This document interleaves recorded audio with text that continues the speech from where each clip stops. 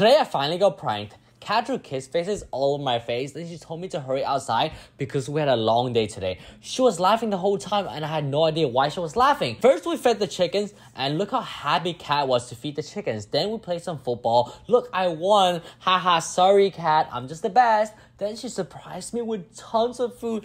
Isn't she the best, guys? I was so happy. And guys, don't forget to subscribe if you want Cat to be my girlfriend.